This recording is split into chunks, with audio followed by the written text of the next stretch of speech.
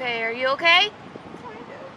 What's going on? The responding officer notices Amber Young is shaken up. She was just involved in a car crash and she repeatedly denies having any alcohol. Not anything. I, I, I've just been like very like scared about everything. Like, The officer tells her they're focused on public safety, hers and everyone else's. Honesty is important, and if you've had anything, you've taken anything, Young denies it again and continues to bring up her wedding, something Marana police pointed out in a tweet with this picture the day it happened.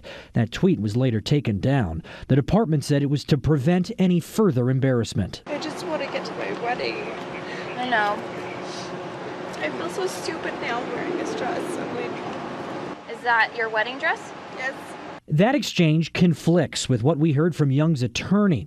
Her attorney said police made up the wedding day narrative that this was a sundress, not a wedding dress. Whatever it is, Young held on to her dress during field sobriety tests. Are you okay? Officers called in a few more tests, including a blood draw. They took her in for processing. Nearly a year after the initial arrest, Young pleaded guilty to extreme DUI and criminal damage from the crash. She served two days in jail, seven on house arrest, and she's currently on probation. Yay, fun wedding day. I'm sorry about